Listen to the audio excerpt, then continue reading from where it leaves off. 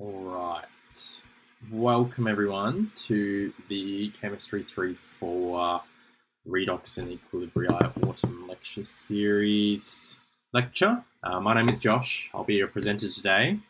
Um, just a couple of things. Uh, obviously, it's Chemistry 3-4 today. We're going to be covering uh, a bit at the end of Area Study 1 for Unit 3 and then the start of Area Study 2. Uh, given this is a recording, you'll find there is the live chat feature if you're here for the uh, premiere. If not, um, you can still probably see that. Probably, I think you still can still see the chat. Uh, the chat should be available afterwards. You won't be able to utilize the chat, but you'll be able to read through it. So if you have any questions, you should be able to see it there. Uh, beyond that, I'm recording on my laptop, but my monitor has my screen. So if I'm looking up to my right all the time, that's what I'm doing. Uh, other than that, we'll get started. So, obviously, a big welcome by ATAR Notes. Uh, today uh, couldn't be possible, or this recording couldn't be possible without ATAR Notes. Uh, they've been around for a very, very long time. I think it's about 2007, uh, producing free resources. They even now have moved into some more high-end paid resources. Uh, but nonetheless, they've been around for a very long time. They've been supplying these lectures for a very, very long time. I remember going through high school and, and going to these lectures back when they sort of were a bit hybrid. There was some in person, some not. Um, and so I did a bit of both. Um, and I really enjoyed them back then. And now I'm lucky enough to be presenting them. Uh, beyond that, just sort of what ATAR Notes offers. ATAR Notes obviously has a lot of free resources in terms of it has um, a big library on its website of sort of study notes that are available to download. Uh, there are these lectures, such as this one here, discussions, their forums are really good. There's some video tutorials um, and some more resources there. They've also started to move into some more sort of high-end products, such as ATAR Notes Plus. ATAR Notes Plus uh, is essentially sort of a platform where you get access to all of the ATAR Notes books. Uh, so our ATAR Notes uh, complete course notes uh, and the ATAR Notes uh, topic tests. You also get available, uh, there's now flashcards. Um, there's also now uh, study guides for each of the texts, so text guides for each of the English texts. Uh, and there's now an AI answer bot who has essentially, it's an AI that's been taught in terms of the VCE books that we've produced. Um, it's improved dramatic, dramatic, dramatically. Uh, I remember sort of sort of seeing the beta of it at the end of last year, uh, and it's sort of had a few little tinkering issues, but it's it's amazing now, uh, and uh, it's essentially it's not as good as a tutor. Uh, being a tutor myself and tutoring through ATAR Notes, but it is very close and it's very, very good. So you get that all with ATAR Notes Plus. So it's definitely something to check out. There'll be some lectures on it throughout this lecture series, some um, sort of information videos. Uh, you're welcome to check those out uh, and get in contact with sort of ATAR Notes if you have any questions in regards to that. Uh, but it's a really, really good program and definitely something to look at um, if you're looking for a little bit extra help. Um, but what about today? So welcome to the uh, Chemistry 3-4 lecture. Uh, we're in a new study design, um, so we're following on from the Unit 1-2 changes. Um, please feel free to utilize the chat to ask any questions if you're at the live premiere. Um, the slides will be accessed below, so you'll be able to see the slides. They'll be below. Um, so if you go to the chat and then scroll just below the chat, there's a couple of tabs. You'll be able to get the slides there. This recording will be available after the premiere. Uh, it's usually available for seven days and then it moves to ATAR Notes Plus. So if your friends couldn't make it today, make sure to tell them to watch it in the next seven days. Make sure they sign up to attend the live class. And even if they don't attend the live session, the premiere, even if they don't attend that, that's okay. Make sure they jump on and um, watch the recording afterwards. Um, and then who am I? So my name's Josh. Um, I'm sure you guys have seen me around before if you've been going to these lectures, maybe even last year. Uh, I've been lecturing these lectures for far too long. Uh, I graduated way back in 2018, um, and I'm now a final year medical student. Uh, so six years down the track, um, I've done an honours, completed an honours year, um, and I'm now a final year medical student. I work for TuteSmart by ATAR Notes, which is why I said tutoring is always better uh, because uh, I'm a tutor at TuteSmart. Um, I tutor chemistry 3-4. I take the class there. Um, I also have a couple of students uh, individually, but that's sort of where I limit myself. Uh, but yes, that's what I do. Um, I do also do a bit further uh, and a little bit of biology. Um, that's my, my main focus is really chemistry. It's where I really enjoy it. Um, I enjoyed it in medicine and now and I definitely enjoy it at the VCE level as well. Uh, essentially, that's who I am. Um, and that's essentially uh, why I'm here. So what we're going to do today, we're going to do a couple of things. So first of all, we're going to look at um, redox and electrolysis. So this is a bit of a culmination of Unit 3 Area Study 1 and Unit 3 Area Study 2. So these two are actually split up in the study design. So if you get up the study design, you'll find that redox makes up the back end of Area Study 1, just basic redox in cells. And then electrolysis makes up the back end of Area Study 2. And it's a little bit frustrating because most schools I find, and including my school, make that one SAC, even though the area studies are different. It's a bit frustrating, to be honest, but nonetheless, for today, I'm going to combine the two. They lead on from each other. They make sense. There's no point doing it separately. And then we're going to touch on equilibria. Now, we're not going to go through all of equilibria, nor are we going to go through all of electrolysis. So I really want to sort of sort of stamp out today that the reality is in two hours, we can't go through everything. We're going to go through redox and we're going to go through all of what is in area study one. So you'll find that all of area study one redox is covered. So you should have already probably done that in class by now, uh, given it's the school holidays.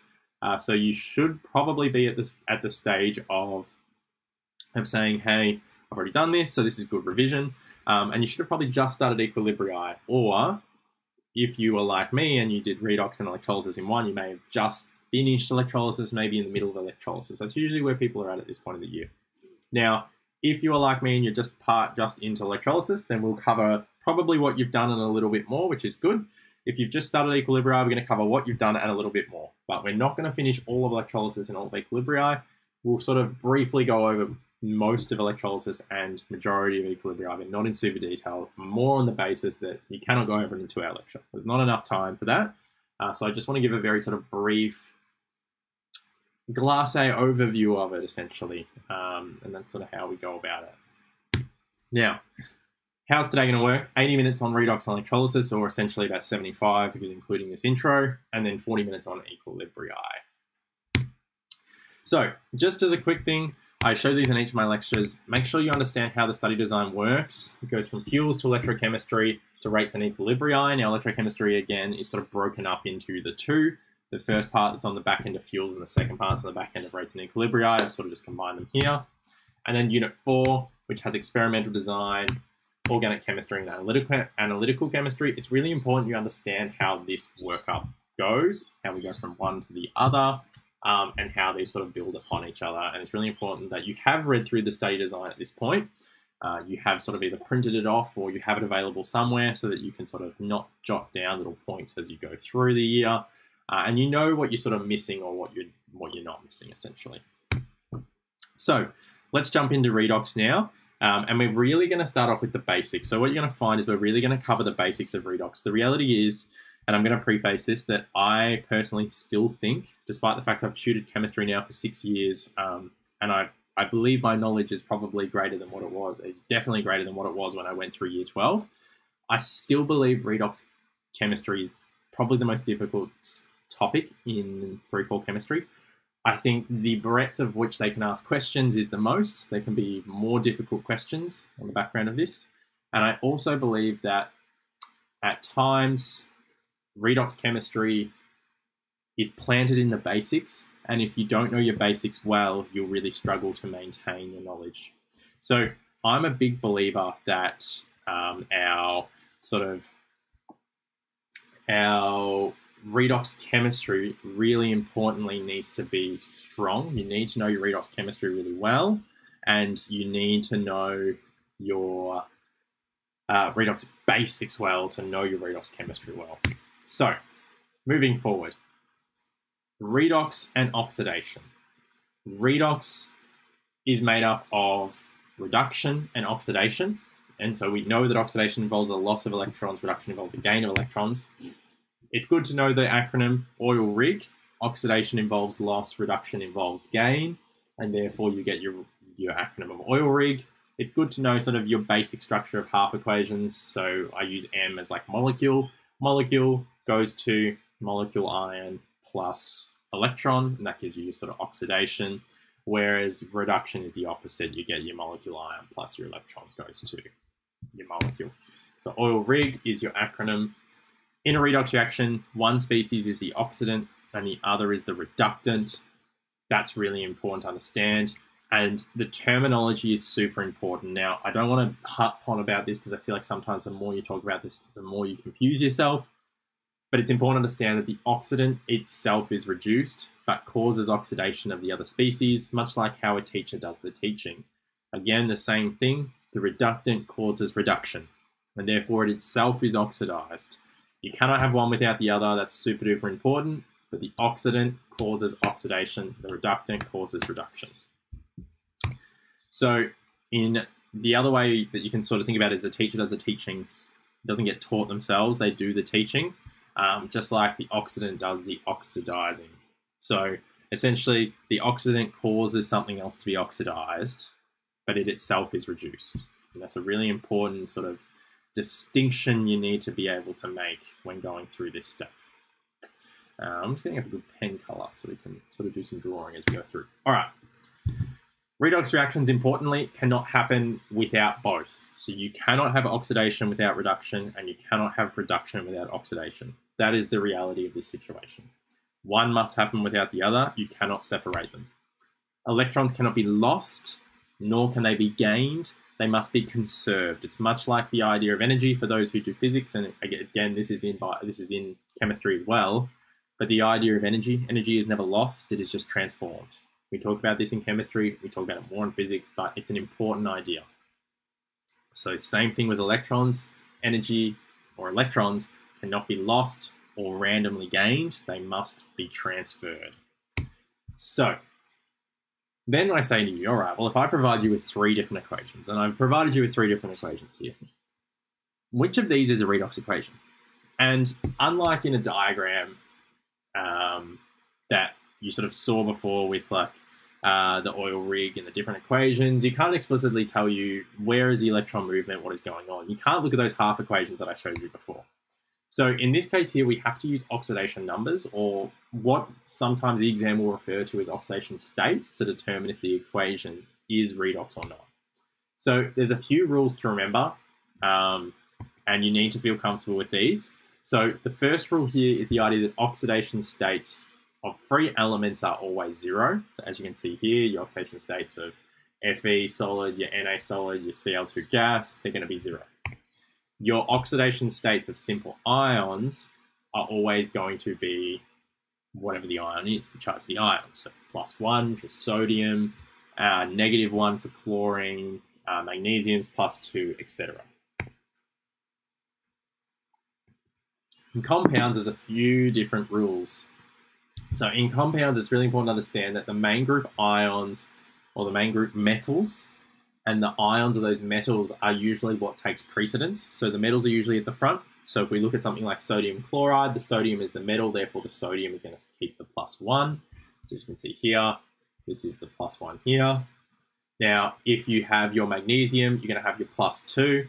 Therefore, from there, you sort of work off everything else. So as you can see, sodium chloride here, it has an overall charge of neutral, zero. Therefore, the chlorine is going to be a negative 1. So you'd put a negative 1 above the chlorine.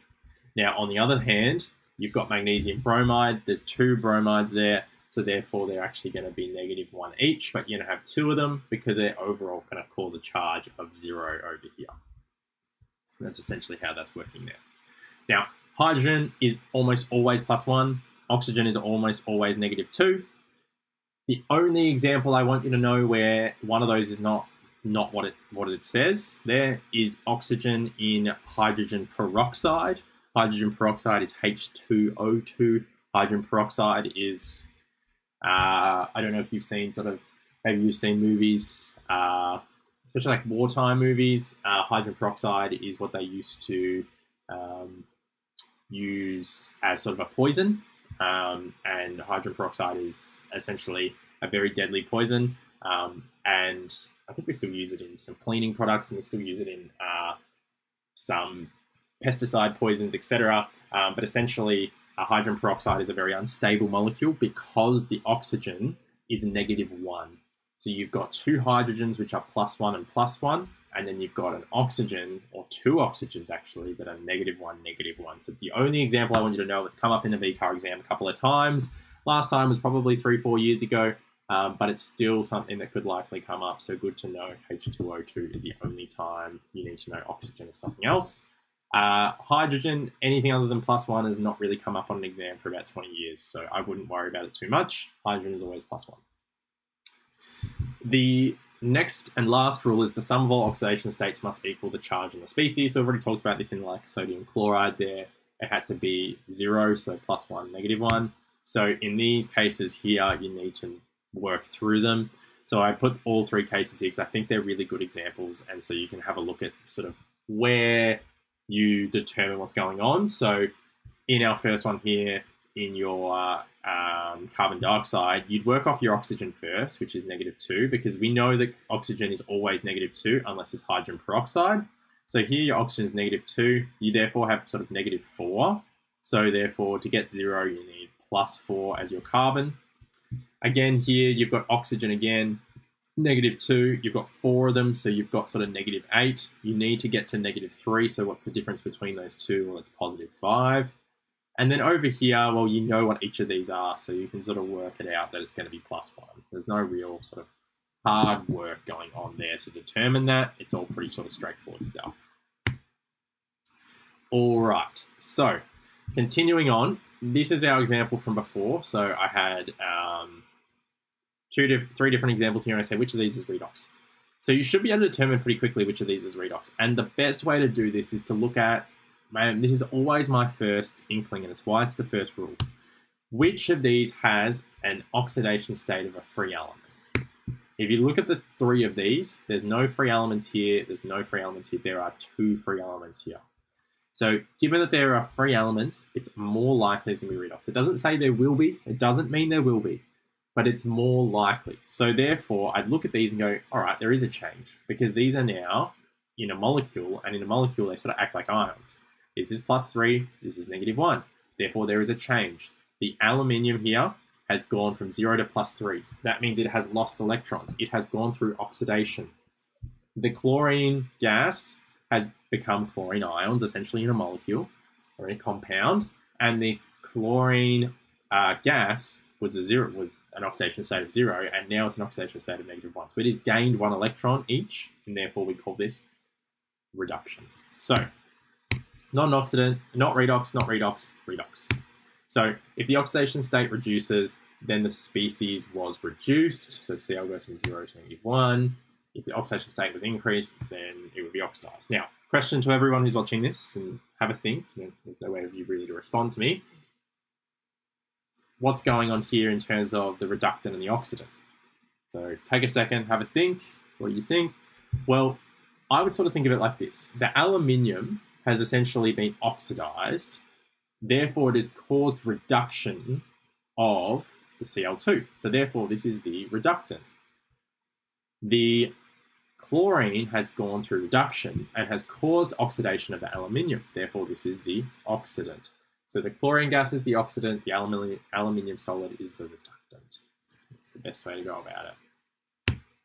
So now we understand that. The next sort of basic step is formulating half equations. So you should have sort of been through this in Unit 1 too, but we're going to go through it again. Sometimes you'll be asked to create half equations. And when you are asked to create a half equation and it's not in your electrochemical series, which will be on your data booklet, uh, which at the time of recording this, you still don't have your new data booklet. So just for the information, um, just so everyone is on the same page, for this year, uh, and so for this new study design that's covering 2024 to 2027, um, there should be a new data booklet uh, it is currently not released at the time of recording this, um, so utilize the old data booklet where you can. The old data booklet has everything you need. It, it does not lack any information that the new study design has. There's just irrelevant stuff on it now that will get removed. Um, essentially, the old data booklet is perfectly fine, has everything you need. Now, if you go to the electrochemical series on that data booklet, it doesn't have everything. And sometimes you need to create half equations that are not on there and therefore you need to use a method called KOHES. Now this KOHES method works pretty straightforward. You have your, your pairing. So you have, let's just say, you're going from dichromate to chromide ions. It's a very common example VCAA likes to use. So that would be like Cr2O7 negative 2 to Cr3 plus ions. Now, it's a very, very common example. VCAA loves this example. You work with that example and you would, first of all, you'd put those two on the page and draw an arrow and leave a bit of a space after so you write the dichromate, leave a bit of space, arrow, chromite ions, a little bit of space. Those spaces you need to fill in. essentially you'll go through this method. You'll first of all balance your key atoms. Now that would start off with the dichromate, so it would start off with the chromide in there, or the chromium that's in there. So the chromate ions and the dichromate, you'd need to sort of alter their um, their sort of coefficients to ensure that the uh, chromate ions are balanced. Don't worry about the oxygens yet. You then balance the oxygens, but you don't balance the oxygens by changing coefficients. You balance the oxygens by adding H2Os to the side with the less oxygens. So you balance that out by adding H2Os. You then balance the hydrogens, which you probably threw out of whack by adding in H2Os, by adding H plus ions to the opposite side that or the side that has less hydrogen. So that's how you balance it out. Now you will have probably thrown the charge out of whack because these have a charge. So then you need to add electrons. Now, if you've been told that you are going to draw a reduction half equation, you should know that reduction involves gain. You should know the electrons need to be on the left. So if you are asked to write a reduction equation or a reduction half equation, and you are given the two starting molecules or compounds, whatever they are, and you put it all on your page, and for some reason your electrons are not on the left side, they actually end up on the right side, you've done something wrong. So that's a good sort of hint to you to go, hmm, I've done something wrong. I need to take a step back and redo everything else that I've done. And that's reasonable. And it, that's why it's important to know that reduction is on like the electrons are always on the left, and then in oxidation, your electrons are always on the right. It's good stuff to know so you can sort of fact check yourself as you're going through. So as you can see here, you balance the charges by adding the electrons, and then don't forget the states. So add states last. Um, so add all your states in last and make sure you don't forget them. That's like completeness sake. In an exam, you're not going to get marks if you don't put states. You have to put states down. Really important. So your KOHES method is really useful. The only issue with your KOHES method is that we make an assumption that the medium is acidic. Now, I want you to take a think, why do I assume using this method that the medium is acidic? Well, it's this step here. This step here assumes acidity. Why? Because H plus ions are acidic. They're just naturally very, very acidic. They are essentially what we measure in pH. You will have learned that in Unit 1 too. H plus ions are really our measure of pH because they're protons. It's what we work with. Now, because we assume we are acidic, or we are told we are in an acidic environment, we use codes. Now, what happens if in the question it says that the medium is basic? Now, this would only be if the question mentions it. If the question mentions nothing and wants you to form a half equation, you assume acidity. You assume that the median is acidic, or like, you know, slightly acidic. It doesn't need to be super acidic, but that's, that is an assumption you make. The only time you will use this second method I'm about to go through is if you are told in the question you are in a basic environment, you're in an alkaline environment. That is the only time you will use this. And in this one, you use the exact same method with an extra step. There is one extra step added in. And that extra step is after these hydrogens. So after you've added the hydrogens in and you've, you've added these H pluses, you don't want them. You want to get rid of them, but you've got them there. So how do I get rid of them? Well, the best way to get rid of them is make them into something else. So you add OH ions, the number of OH, the same number of OH ions as there are H pluses, and you add them to both sides. Now the OH ions on the side with the hydrogens, let's say the hydrogens are on the left side of the equation. You add OH ions to the left side of the equation. There were four hydrogens, so you add four OH ions. What does that make? It makes four H2Os. You combine them and make four H2Os. But you only added hydrogens to the left side of the equation because there was water on the right side of the equation that had increased your hydrogens. Well, now you need to cancel. So you do some cancelling. There might be less water on the right than what there is on the left. So now you cancel out the ones on the right and you make your coefficient of your, your waters on the left a little bit less. So you cancel out your waters accordingly.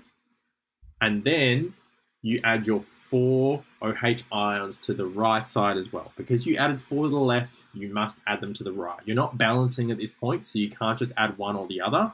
You need to make sure that you cancel out appropriately, and then you make sure that you balance appropriately in terms of if you've added four to the left, you must add four to the right. That is an important step. You are not balancing out oxygens. You're not balancing out hydrogens. You're not you're not doing that anymore. You're essentially trying to cancel something out. So by trying to cancel something out, you need to add to both sides, left and right. So really important here, this is only a method, this KOHES with a double H, is the only time you would use this method is if you are told it is a basic or alkaline environment, and that is super duper important. Everything else is the same, it's just this extra step of adding OH ions.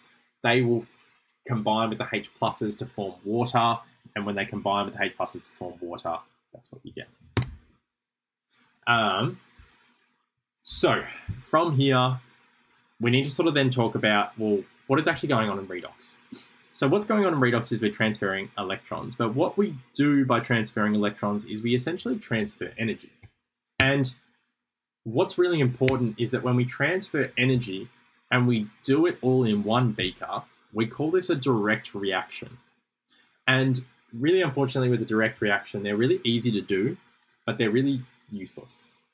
Get chemical energy to thermal energy, which is not something that we sort of want. Chemical energy to thermal energy is a bit useless in our eyes. We don't really like chemical energy to thermal energy. Thermal energy is hard to work with, and we don't we don't find it useful in everyday life. However, we can use cells. And the use of cells is essentially that we can get chemical energy and we can convert it into electrical energy. So we can take the chemical energy and we can convert it into electrical energy. So electricity is much easier to store and control and thus much more useful. And redox is essentially the transfer of electrons. So if we force those electrons through a wire, instead of allowing them to directly react in that sort of direct singular environment, instead of allowing that transfer to happen in a single environment, we can sort of force it to happen through a wire. We can sort of connect things with wires and say, hey, react. But hey, the only way you can do it is if you send your electrons through this wire. By sending the electrons through the wire, we essentially get electrical energy. That's how current forms, that's how voltage forms, and that's how we get electricity. Um, and this process occurs in what we call galvanic cells. And as I said, it produces electricity. Now, I hope you know what galvanic cells are by now. I hope you know how to draw one. If you don't, or if your galvanic cells don't look slightly like what I draw, do what I'm doing.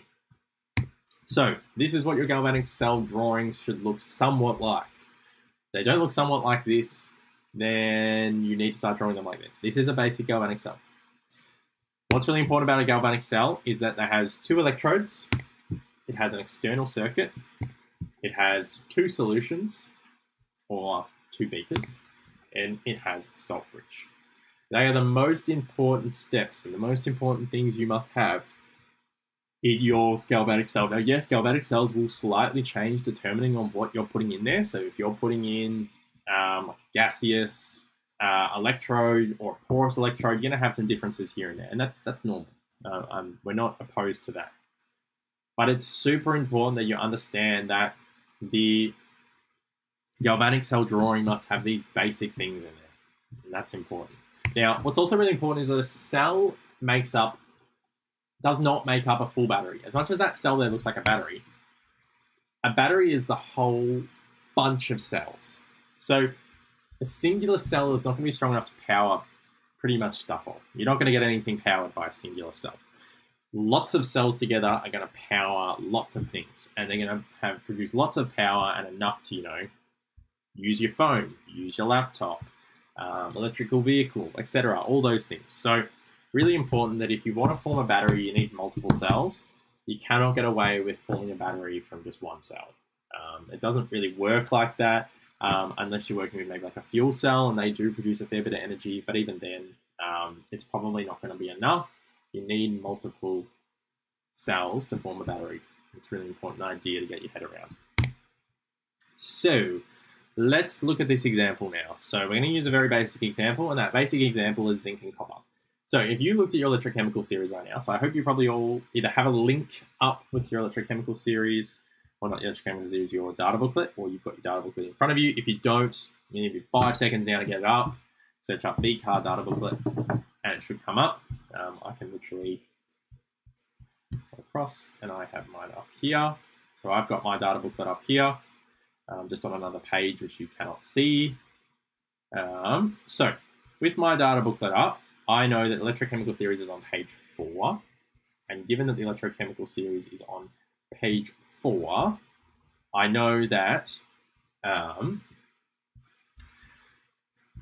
I know that zinc and copper react. I know that zinc solid is, if I go to my, my book, I can see that zinc solid sits at about, where am I? I think I've lost it. I had it in my eye before. There we go. Zinc solid sits on the right side of the equation and it's at 0.7, negative 0.76. Copper 2 plus is on the left side of the equation, it's at plus 0.34. So I know these are going to spontaneously react. And that is the reason why, in this case here, I've got zinc on the left, I've got zinc solid and copper 2 plus as my reactants. I understand that the zinc, from looking at my, my electro series, electrochemical series, I understand that zinc is going to go through oxidation because it's going to lose electrons. It's going to go to 2 plus, and then the copper is going to gain electrons and therefore go through reduction. Therefore, I can say, all right, I can say zinc occurs at the anode because the anode is the site of oxidation. Vow to vow, A to O, vow to vow, anode to oxidation. That is the best way to remember it. It is negative in our spontaneous redox, it is negative, and that's super important to understand as well. We then therefore know that there's zinc 2 plus in that solution. It's aqueous. On the other side, we have the, the cathode. Now, the cathode is positive, so the cathode is the happy cat. It's positive, so given that the cathode is positive and we have a copper solid electrode that is positive, that's what's going to happen there. We know that copper is in the solution. We also understand that the electron flow is always anode to cathode. I hope you know that by now, but it is always, always, always anode to cathode. And the salt bridge is made up of KNO3. Now, you might have been told something else, that's okay, but KNO3 is always the one that I use. Really important, the cations, so the K plus goes towards the cathode, the anions, the NO3 minus goes towards the anode. The anode will slowly form more Zn2 plus, and the Zn will be used up as the electrons flow to the cathode, and you get more copper solid formed. And that is a very basic galvanic cell. That is essentially the most basic galvanic cell you can work with. So as you can see here, this is your electrochemical series. Your electrochemical series can show you your strongest oxidant, your weakest oxidant, and increasing oxidant strength. It can also show you your weakest reductant, your strongest reductant, and increasing reductant strength. So from now, you can sort of change what you say as your sort of acronym. You can say, now you can say, instead of oil rig, you can say an oil rig cat. An oil rig cat, and the cat is always happy. That's how I sort of think about it. So as you can see here, the anode is the side of oxidation, the anode is negative. The cathode is the side of reduction, the cathode is positive. The anode is defined is as the site at which oxidation occurs, and the cathode is the site at which reduction occurs. We do not call something the anode or cathode unless reduction is occurring. If a reduction is not occurring, or sorry, redox is not occurring, if redox is not occurring, we call it an electrode. Once redox starts occurring, we can call it the anode or cathode. We can't just say, hey, that's going to be an anode, or that's, that's an anode. It's not an anode unless oxidation is actively occurring at that site. Otherwise, it's just an electrode. It's a really important sort of distinguishing feature. So now we've seen the sort of following reaction in a galvanic cell. What about if I did Mg2 plus instead of Cu2 plus? Well, the answer would be no. We wouldn't get a reaction occurring. Now, why would I not be getting this reaction occurring?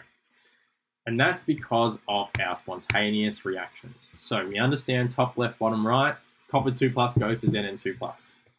But what about magnesium 2 plus? Well, magnesium 2 plus to Zn2 plus would actually have to be a forced reaction. It would have to be an electrolytic reaction, and therefore we call this non-spontaneous, and redox would not spontaneously occur in this, in this situation here.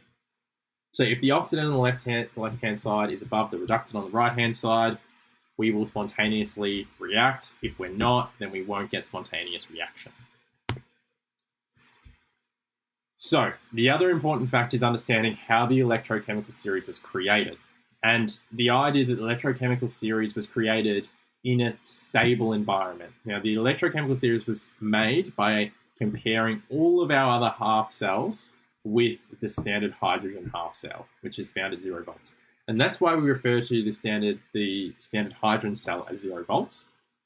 Because if we compared, if we connected the hydrogen half cell to the other hydrogen half cell, we got zero voltage because they're not going, nothing's going to happen. So therefore, that was referred to as zero. Everything else, we measured the voltage and we sort of from there determined where they occurred on our electrochemical series and slotted them in uh, and made our made our central, uh, essentially our electrochemical series. Um, so this all occurred at SLC. I hope you know SLC conditions by now. It should have been part of your sort of gases in area study one, but nonetheless, it's your 25 degrees Celsius, 298 Kelvin, your one molar aqueous solution, or your 100 kilopascals. So they're your features of SLC. Um, this is definitely a limitation of the table.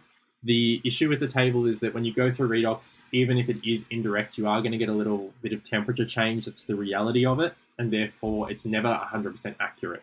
You're never going to get 100% the exact same thing going on because you can never really guarantee you're at 25 degrees Celsius. But it is important to understand if you're working with a gas, it's at 100 kilopascals, or if you're working with a solution, it has to be one molar. It's really, really important. Um, so as you can see here, this is sort of what they did. They got the hydrogen half cell here, here, and here. They utilized it three different times here. They first of all compared it with zinc. So a zinc half cell, which had a zinc 2 plus solution and a zinc uh, and a zinc electrode. Here they compared it with uh, PB. So they had a PB solution and a PB solid uh, electrode. And then here they compared it with silver. So they had a silver electrode and a silver solution. So as you can see here, the zinc went from left to right, which meant that the zinc was an anode, and it told you that the Zn2 plus was a weaker oxidant than H2 plus. No, sorry, H plus, not H2 plus, 2H plus, or H plus. So H plus is a stronger oxidant than Zn2 plus. Zn2 plus is weaker. Then we had our lead, and we determined that our lead 2 plus is also a weaker oxidant than our H plus. But it's not as weak as our Zn2 plus. Why? Because there was a, a much smaller potential difference or a much smaller voltage than this one here. This determined that there is a much bigger gap going on.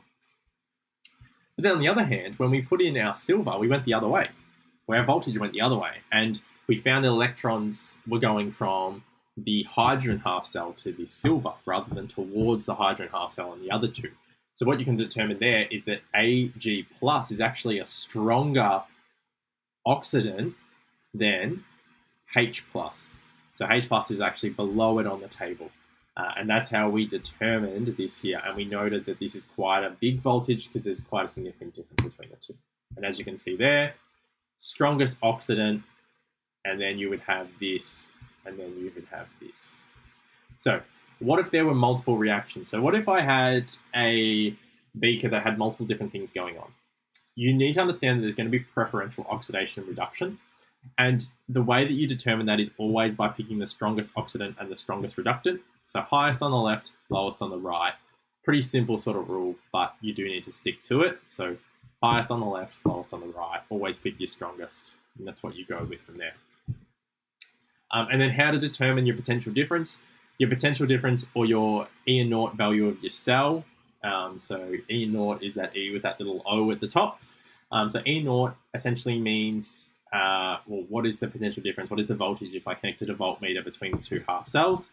Essentially, as you can see here, that your E naught value should always be positive. Now, why is that? That's because you're always going to take your smaller value from your bigger value. So your bigger value always goes first. So the one that's at the top always goes first.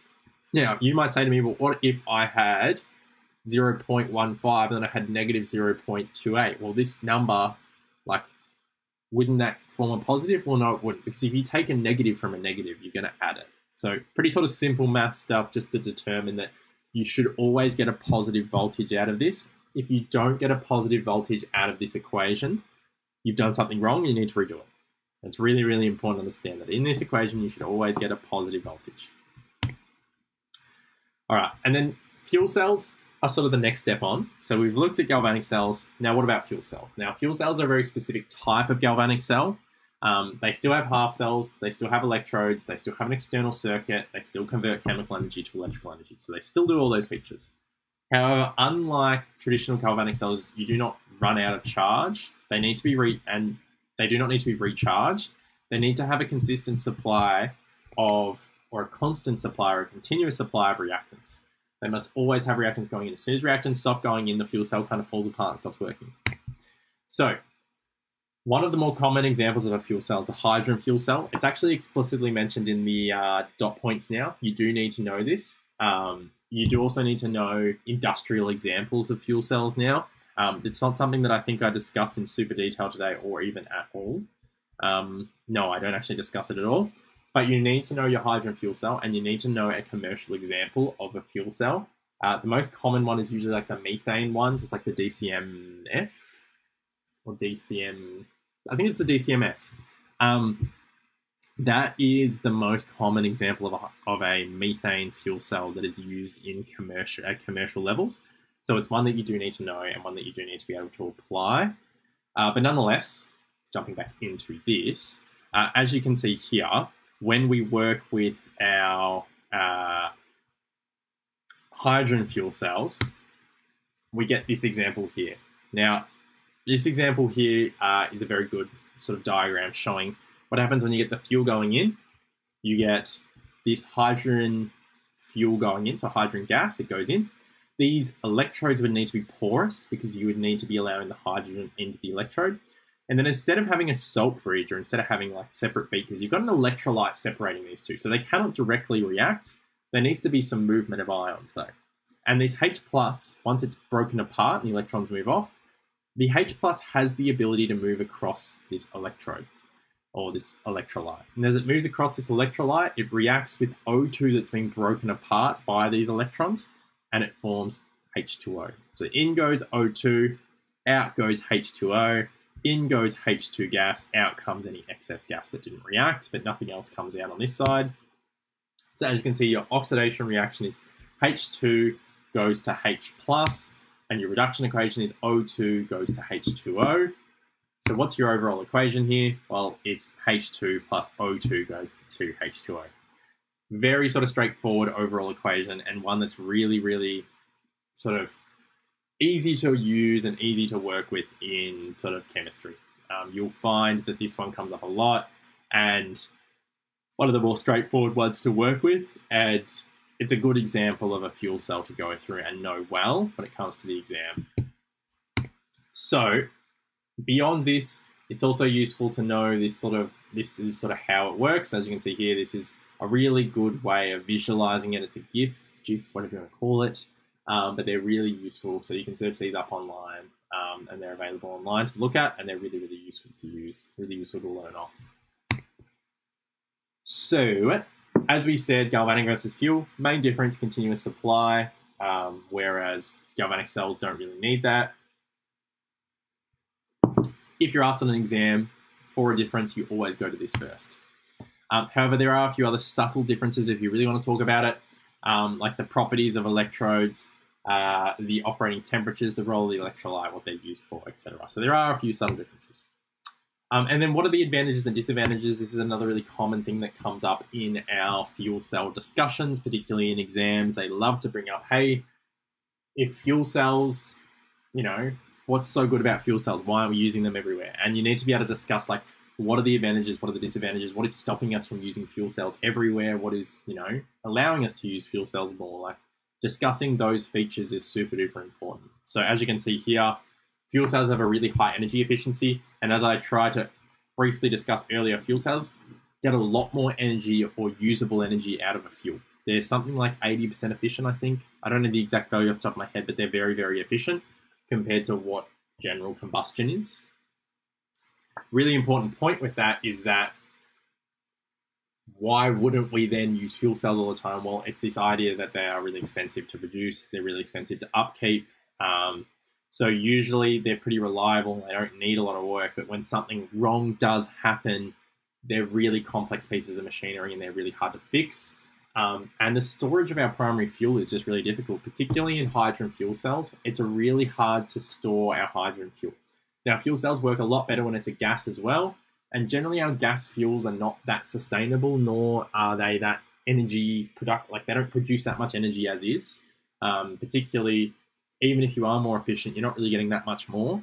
So again, it's sort of all those common sense sort of disadvantages that stop us from really utilizing what fuel cells could give us.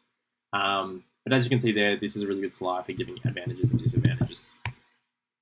Um, and then something I discussed in the last lecture. So if you haven't seen, I discussed this in the last, uh, in the earlier lecture at the start of this year, was that this idea that green chemistry principles are now sort of sort of sprinkled throughout our chemistry 3-4 study design. Um, and this is one of the examples I explicitly want you to know. And that's the idea of what are the green chemistry principles that apply to fuel cells. So I've sort of discussed three of them that I believe apply here. So things like catalysts, design for energy efficiency, and use of renewable feedstock. You can have a read through these if you'd like, but I, these are just suggestions of how you would go about discussing the green chemistry principles in terms of fuel cells. They're not set in stone and uh, they're not the, you know, the answer you must give in an exam, this is what comes up. These are just what I suggest and what I think would be appropriate answers in this case um, and how you would relate them to hydrogen fuel cells.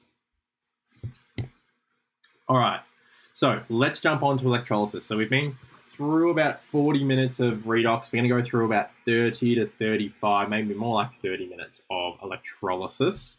Um, and then what we'll do is we will jump into a equilibria. If you need to take a break, feel free to pause and come back.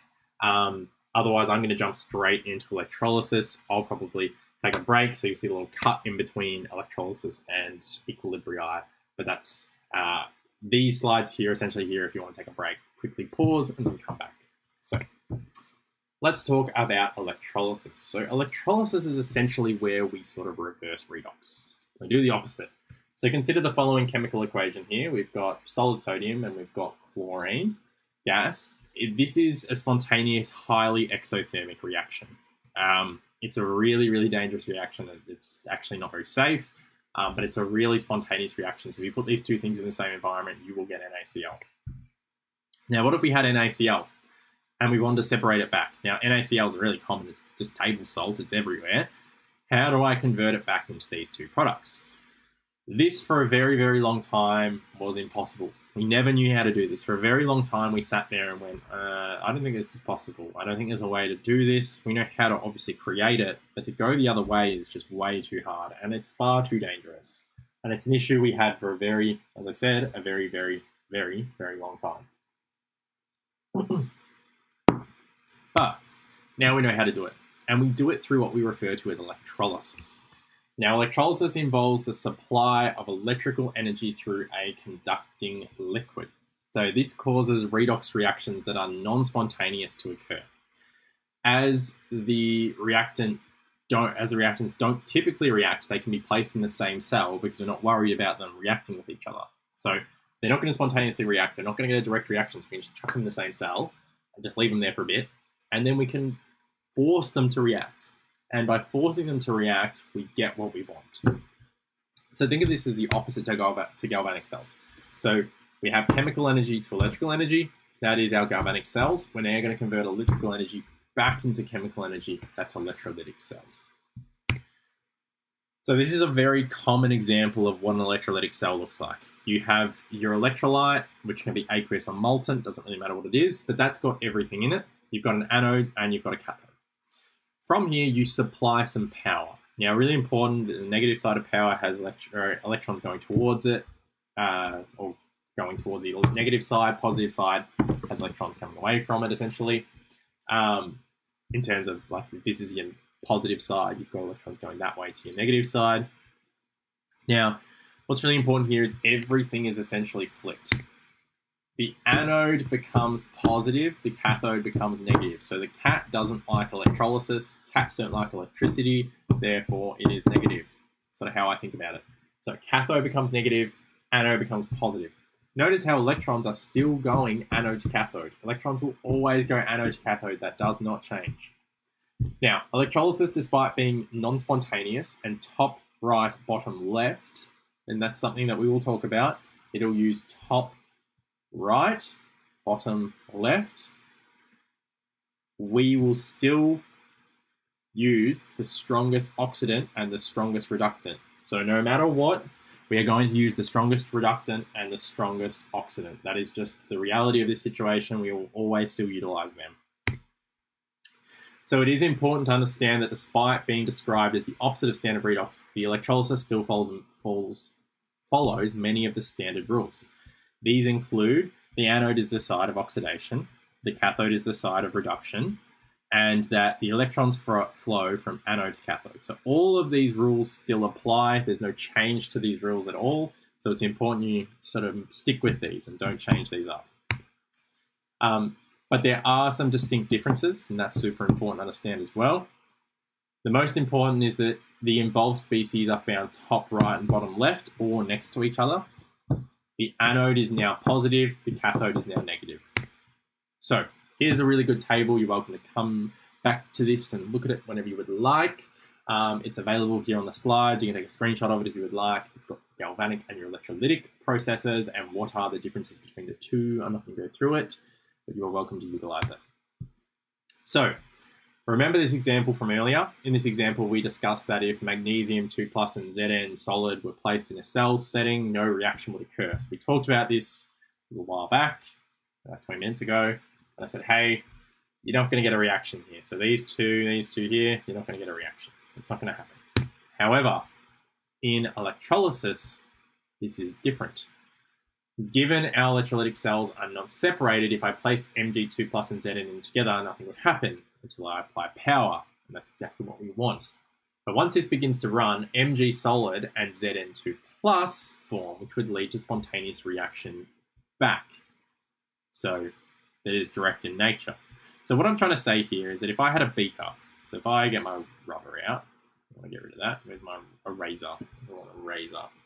So if I said to you that I put one beaker, I get one beaker, and I fill it with I fill it with Zn solid, and I what's a different green? That's okay, and Mg2 plus. Nothing happens. I then apply some electricity, and I go through electrolysis, and they flip over, and I get Zn2 plus forming, and I get Mg solid forming. I now have a spontaneous reaction possible. They are still in the same beaker. So what's going to happen? I'm going to get a direct reaction. I'm going to get heat energy and it's not going to be useful. So despite this, we still have to sort of somehow separate these and we still have to work out how we're going to change what's going on. And it's important because secondary cells are really complex like that. So secondary cells are super complex. Sometimes they're in the same beaker, sometimes they are not. And it's determining what is going to be produced and where it's produced as to what is going to happen. Um, so electrolytic cells are quite difficult to work with, and so we'll discuss that as we go through.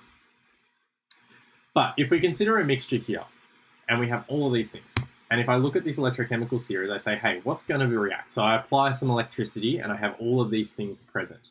Well, what's important is I'm going to have these two here react. No, sorry, yeah, these two here. Because this is the strongest oxidant, and this is the strongest reductant. Now, the only reason this was present was because these were all aqueous. Aqueous, aqueous, aqueous, aqueous. Because they're all aqueous, I'm going to have some water present. And because I have water present, I therefore get reaction of my water. So as you can see here, water is the strongest reductant and as such is oxidized into O2 gas. So K2 plus, H plus, K plus, and H2O can be reduced at the cathode. Cu2 plus is the strongest oxidant, and as such is reduced at the CO solid. So, despite the fact you can have these products go through everything, you end up with the H2O and the copper 2 plus. And now maybe you wanted the copper 2 plus to go through it and produce CO solid. But maybe you didn't. Maybe you didn't want this to, to happen. You didn't want the H2O to go through and form O2 gas. So therefore, you're going to have to consider things like molten mixtures to remove H2O. So especially when we go through electrolysis, H2O is a bit of an issue, and we start to discuss what about molten versus aqueous. Now, this is a good practice question here because it sort of goes through, hey, in an aqueous solution of containing a mixture of this and this, and it was electrolyzed using unreactive electrodes, what is going to happen? What's going to happen at the anode? So I want you to have a go at this question I want you to pause the video, take yourself a minute or two and have a go. I'm not going to wait. I will just go straight into the answer. That's why I suggest three, two, one, pause. And now hopefully you've had a go at this question. You can come back. So if we look at this question, we've got calcium ions, we've got bromine ions, and we've got potassium ions and iodide ions. So if I go back and I find all these things in here, which I'm not going to bother doing, I would find that, you know, you've got your iodide ions here, bromide ions here. I should be using a different color, but that's okay. I've got potassium ions all the way down here. And what was my other thing? Calcium ions. I don't even think calcium is on here. So it doesn't really matter I don't think calcium, oh no, calcium is on here. Calcium down here. So strongest oxidant is going to be my calcium. So calcium is going to be reacted. It's going to go through reduction. It's going to be at my cathode. But this question is asking what's happening at the anode. So which of these is my strongest reductant? That is my Ci minus or my iodide ions uh, going to iodine, and therefore I get my answer being D. So as you can see here, this is a good explanation of it. The answer here is D. So then we go on to discuss exactly what I said before. What about molten versus aqueous? So what about when we have this issue where we've got molten and aqueous uh, solutions? So as you can see here, this is a molten solution. This is a liquid. There is no water present. This has been heated up to a very high temperature to remove all the water, and now we've only got sodium and chloride. What species are present? Well, there's only sodium and chloride. What is the strongest oxidant? Sodium. What is the strongest reductant? Chloride. So what is going to happen? I'm going to form sodium solid, and I'm going to form chlorine ions. Oh, chlorine gas, sorry. Now what about here? Well, now I've actually got H2Os present. So I've got these H2Os present because I am aqueous. So what happens if I go through electrolysis? Well, my strongest oxidant is H2O, and my strongest reductant is also H2O. So I get H2O reacting with H2O, which is completely useless. And that's what happens in these situations here.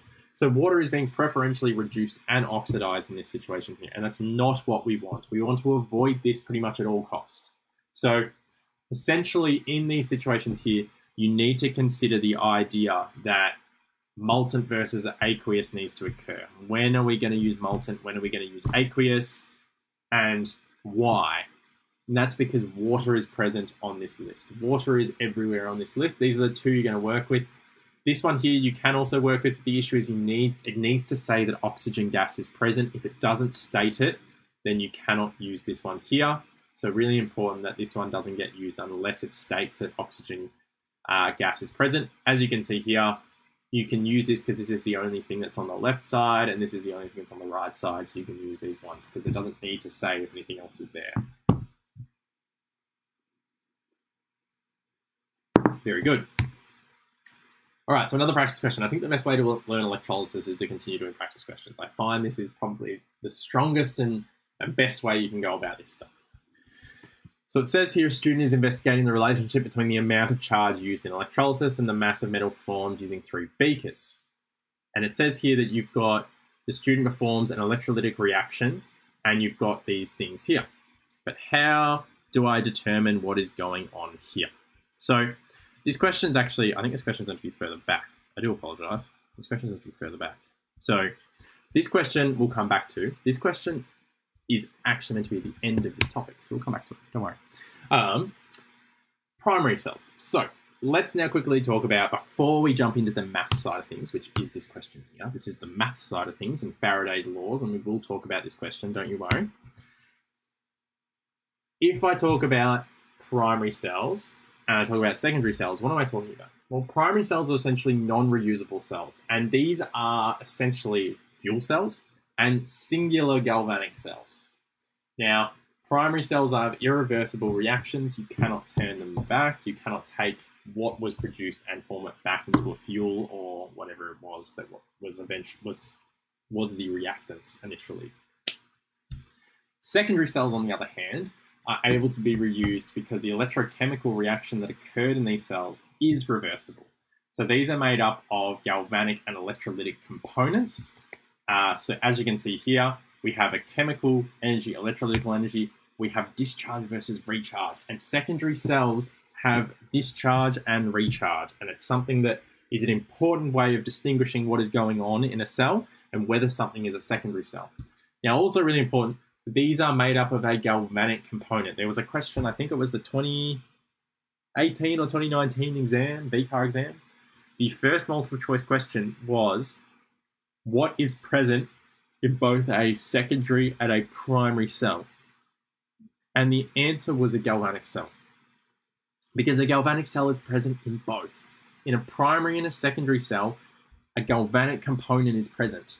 It goes through re or discharge, where it goes from chemical energy to electrical energy, and that process is a galvanic process. That is a galvanic cell. So there is a galvanic cell as part of a primary cell and a secondary cell, and that is a really important wording. So secondary cells must meet specific requirements in order to recharge. So these specific requirements you must be able to recite on the exam. So the products of discharge must exist in a reversible form, and the products of discharge must remain in contact with the electrodes. If one of the products of discharge is a gas, for example, it's not going to be able to be reversible. Why is that? Because the gas just leaves and heads off into the ether. Yes, you can sort of trap it there, but even so, it's not going to be in direct contact with the electrode all the time, and it doesn't work all that well. So gases are generally terrible for secondary cells, so we don't want gases. We generally want solids. Liquids are okay. Solids are better. That's what we sort of say. Now, during recharge, the anode and the cathode flip sides. So what was the anode becomes the cathode. What was the cathode becomes the anode. We then have a flip of charges, which means the charge actually stays the same at each side. So this used to be the cathode and was positive, is now the anode, and you would think negative, but it's actually now positive. So it stays positive on the sides. The anode remains the side of oxidation, the cathode side of reduction. The electrons continue to flow anode to cathode. So this is a really good way of doing this diagram. So I drew this diagram out. It's very simple. I just drew some, some boxes and a little circuit. As you can see here, you've got your anode, you've got your cathode.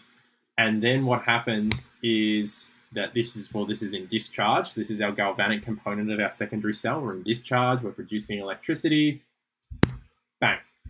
We now become the cathode. We now become the anode. Now notice these half equations haven't flipped over. So they should have flipped over. I do apologize. That's my bad. They should have flipped. So don't worry about these half equations. Um, but essentially these half equations should, should flip. So essentially you should have this now going the other way. So actually the better way of doing this, and I do apologize, um, I should have, I thought I edited that, but I didn't apparently. Um, the best way of visualizing this, if I get this rubber out and I go, let's go here, and we go, and I get rid of this and I draw an arrow that way. That is a terrible arrow. This one goes that way. So, as you can see, this now has essentially the electrons on the product side, which should be the right side. So this has now become oxidation, which is at the anode and is positive. This, the electrons have moved to the reactant side, which should essentially be the left side, but essentially these electrons are being gained. So it's reduction, it's at the cathode, but it's now negative. So really important that you do flip this equation. I'm going to make sure I go ahead and I'll edit this before I upload the slides so you guys have this edited on the slides. I do apologize. This shouldn't be, uh, this should be the other way around. But nonetheless, this is a really good example. Um, when you look at this example here, so that goes like that and that goes like that. So a really good example of discharge versus recharge, other than the fact I got that. I forgot to put those equations. Um, but Secondary cells in everyday life are referred to as rechargeable batteries, um, much like the ones used inside your laptops and phones. However, all these batteries have a lifespan. Um, so why do batteries degrade? This is another thing you need to be able to discuss on an exam. So you need to discuss the idea that if our materials in an electrolytic cell need to stay as like a, they need to stay in contact with the electrode, what if you know you drop your phone and a bit of the material flicks off and, and can no longer get in contact with the electrode? Well, it can no longer be utilized in the reaction. You've lost a bit of your chemical energy, therefore you have lost a bit of your rechargeability. So loss of active materials from the electrode is a really common example. Um, formation of crystals on the electrode, reducing the surface. Uh, they also increase, increase resistance to flow. So they reduce the surface area available. They increase the resistance to flow. This will degrade the battery. Formation of interfering species by side reaction. So sometimes you get other things in your battery. They form some side reactions, things that we don't exactly want, but we can't really stop happening. This does happen a bit, and therefore you also get um, some degradation of the battery. And then just things like corrosion and failure of internal components. So essentially, battery de degradation is really important to understand that your battery will never be perfect over a long time span. Now, Faraday's laws. So I've jumped back here and said redox basics. The reason I've jumped back here and said redox basics is because Faraday's laws, interestingly, come up as part of Area Study 1 now. So they come up as part of our fuel and our galvanic cells. However, I personally feel like it's more useful in electrolysis, and they do also come up again in electrolysis. Now, there is more detail in the first area study because they want you to be taught the exacts of the Faraday's laws. The area study two Faraday's laws dot points are more about the application of it. So I actually personally feel like they're still emphasizing area study two and the use of Faraday's laws and electrolysis, which is what I'm actually going to teach more of today. However, the idea is that you should know how to look at Faraday's laws when it comes to cells and redox basics, which is part of area study one. So if your if your SACs are split up, into area study one, area study two, and you have redox split up from electrolysis, then you do need to know Faraday's laws for that first SAC. If they're not split up, doesn't matter. You're going to learn it no matter what, so don't stress too much. But there are two major Faraday's laws, and you do need to know both of Faraday's laws. So Faraday's laws are essentially, the first one is that the mass of the metal uh, produced at the cathode is directly proportional to the quantity of electricity passed through the cell. So if you pass more electricity through, you get more metal produced. If you get less electricity passed through, you get less metal produced. And for one mole of substance to be deposited at the cathode, a whole number of moles of electrons is required. And this is where our 96,500 sort of constant comes from.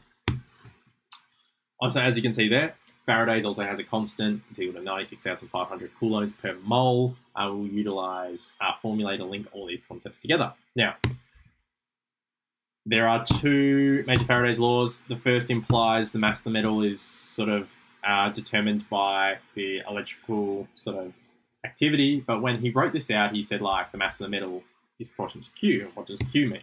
Well, Q is the charge in coulombs. So Q is coulombs, I and T are amps and seconds in time. So we do know a very similar equation to this, which we talked about earlier. Uh, no, a very similar equation which we talked about in the last area study, which was calorimetry. So we would have discussed this in calorimetry. We would have discussed E equals VIT. Um, that was in area study one with like our foods and our fuels as foods. Here we look at Q equals IT. So slightly different, but very, very similar. Um, but again, how does this relate to mass? So you've got Q equals IT. How do I relate this back to mass? What am I going to talk about with mass and metal? Not really sure what's going on. Well, we can determine the moles of electrons from charge. And so the moles of electron is equal to the charge over Faraday's constant. And if we know the moles of electrons, we can then utilize that to determine the moles of a product, like our solid nickel here. We can then determine using stoichio stoichiometric ratios and stoichiometry what is our, you know, what is our mass of our nickel. So these two equations need to be used in sort of a flow chart path.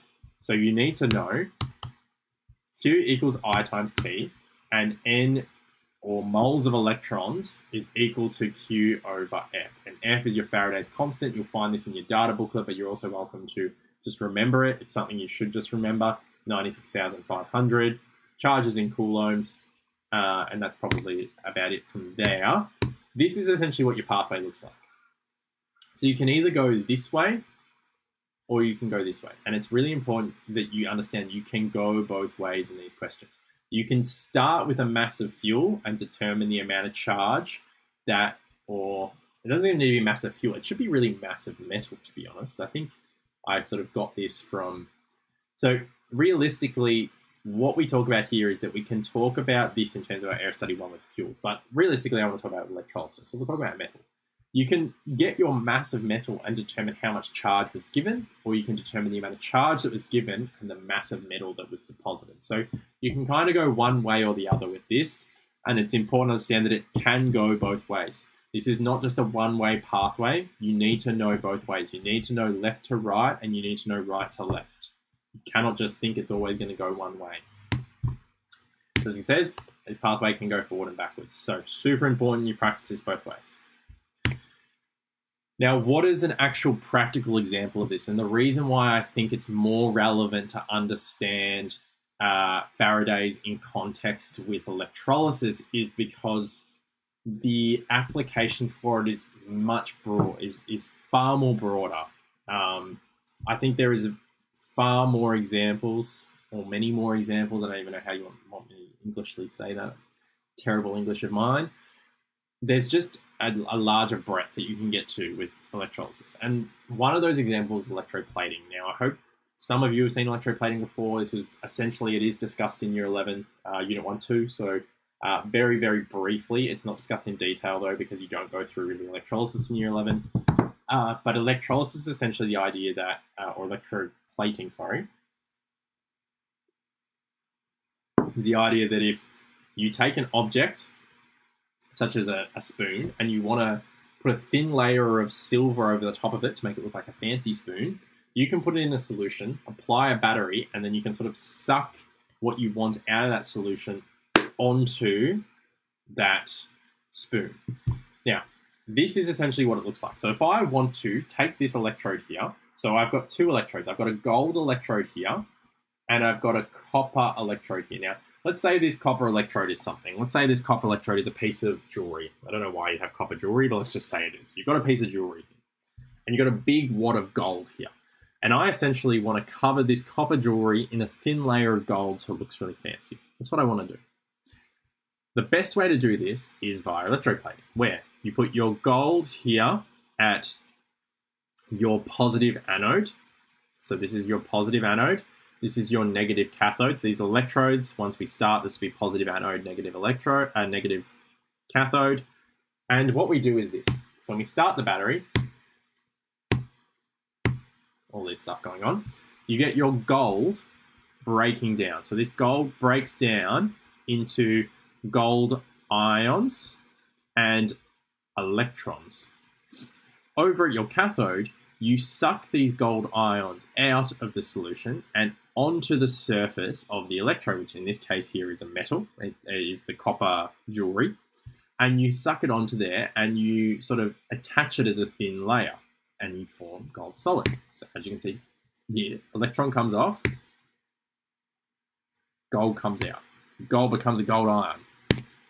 That becomes smaller, as you can see there. The electron goes down. The gold attaches on with the electron and becomes gold solid. And then that starts to become bigger. And essentially all it's doing is getting a big gold layer on the outside. That is electroplating. That is electroplating at its finest, and that is essentially how it works. And the most common example of this is like silver plating of like spoons and tin plating of um, cans. Uh, you also get like copper plating of things. Electroplating is a really useful tool. Now, there is also electro refining. I'm not going to discuss electro refining today. I, I think it's probably the next step on um, and we don't really have enough time to discuss it. But the other really good example of Faraday's laws and electrolysis is electroplating, um, and something that you should really look at uh, discussing. Now, in this situation here, going back to electroplating, if I wanted to make it a really thick layer, I'm going to need to apply more electricity for a longer amount of time, as per my equation back here. This equation, I'd need to apply over a longer period of time and I'd end up applying more charge overall. Or I could increase the current, either either. So if you increase both the current and the time, I'm going to increase my, my Q even more. And then when I increase my Q, I increase my moles of electrons because my Q gets larger, gets divided by the same amount, but it's going to be end up as a larger value. I end up with more moles of electrons more moles of electrons when I use stoichiometry is more moles of my metal and therefore more mass of my metal. So naturally, that's what's happening there. Let's jump through. All right, so what are the factors affecting the metal that is deposited? I don't want it to be over here, but it's obviously too big. So what are the factors affecting the metal that is deposited? Well, first of all, there's the charge of ion involved in the reaction. So if you look at here, nickel, to make a nickel solid atom from nickel ions, I need two electrons. Whereas silver, I only need one electron. So nickel is going to require twice as many electrons as silver. So it's going to take longer to essentially get the same amount of metal deposited in moles. The current flowing through the cell, we discussed already, if we flow the, if we increase the current, we're going to get more electrons because current is essentially a measure of the rate of electrons. So if we increase the current, we get more electrons. More electrons means more metal being deposited, and a higher current means, you know, essentially more electrons are delivered. And then our last factor is the length of time. So if the time is increased, the longer the current flows, the more electrons are delivered, the more metal is deposited. So all these sort of simple facts can assist you in determining what is going on. Um, now I do apologize, my Mac is going a little bit flat, so I'm, hopefully that'll charge now. So here's a really good example of Faraday's in in an exam or in a question-based setting. So a company needs to produce 25 grams of silver to create enough jewelry to sell its clients. To do, to do this, they set up an electrolytic cell with the following half reaction occurring at the cathode. They run this cell using a current of 5 amps for 2 hours. Would the company have produced enough silver? So, you're welcome to have a go at this question if you would like. Um, I'm going to go through it. If you have no idea what's going on, please feel free to just stick with me and we'll go through it. If you want to challenge yourself, please do pause right now and have a go at this question. Use the equations we've just been through. So Q equals IT, our N of, or our moles of electrons equals Q over F, which is 96,500. Um, and have a go at this question here and see if you can determine what is going on. So have a pause now, three, two, one, pause. And hopefully you're back. All those who stuck with me are still here. Let's go through this. So first step, we can determine our coulombs or our charge because we've got amps and we've got time. So two hours of time is essentially 2 by 60 by 60. So I do 5 by 2 by 60 by 60 and I get 36,000 coulombs.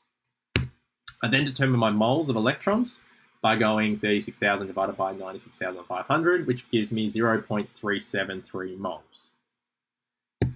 Now, it's a one-to-one ratio from this to this, one-to-one ratio from here to here. Therefore, my moles of silver deposited is also 0.373. And then I say, all right, well, what is my mass? Well, it's going to be 0.70.373 times by 107.9, and I get this answer here. So I get 40.25 grams, and I would say yes, they would have been enough. So 40.25 grams is more than 25 grams, therefore it, they would have enough silver. So essentially, I've got my answer and I've answered the question. If I didn't write yes, they would have enough, or probably saying you, they would have enough silver is probably the way you want to write it. You want to complete completeness sake, you want to put silver at the end there. But if I hadn't put that down the page, I'm not getting the answer there. I haven't done that right. It's really important. So Notice in that example, the silver had a one-to-one ratio to the moles of electrons. What if we utilized a metal such as copper? And we've already discussed this. These moles, the number of electrons, you're going to need double the electrons. So as copper has a 2 to 1 ratio, meaning the moles of copper produced from the same number of electrons would be half, I need to understand that this is this diagram here is really useful. It's going to come up, it comes up a lot. This graph shows that through Faraday's second law, we can visualize that if I apply the same charge over, you know, I apply the same current at the same amount of time, so I apply the same charge, if I have silver, I'm going to get more moles deposited than if I had copper. So if I applied three Faraday, so if I applied uh, 289,000, 289 yeah, thousand char or coulombs charge, I'll get one mole of chromium for every three moles of silver. So I'm going to get three moles of silver. It's actually like down here, and that would be equal to three. Let's just say that there would be three. So I'm going to get two if I was down here. I get one if I was here. So as you can see, I get one of chromium at three Faradays of charge. So I'm not getting nearly as much. So understanding that there, if I come back to this question from earlier that was out of place, this question was meant to be now. I have this question here where a student is investigating the relationship, relationship between the amount of charge used in electrolysis and the mass of metal formed using three separate beakers pictured below. The student performs an electrolytic reaction to each beaker using a current of 2.4 amps for 10 minutes on each. The change in mass of each cathode is then accurately determined in order from least to most. The mass of each metal formed in the cathode would be, so least to most, which one's going to form the least, which one's going to form the most? Well, the easiest thing to understand, first of all, is looking at, all right, I have plus one, I've got plus three, and I've got plus two. So to form a to form essentially a solid here, I need three electrons. Here, I need one electron. Here, I need two electrons. So the mass of each metal from least to most is going to go this one, then this one, then this one. So that's that idea that we've just discussed then. So really important that we understand that from this diagram up here.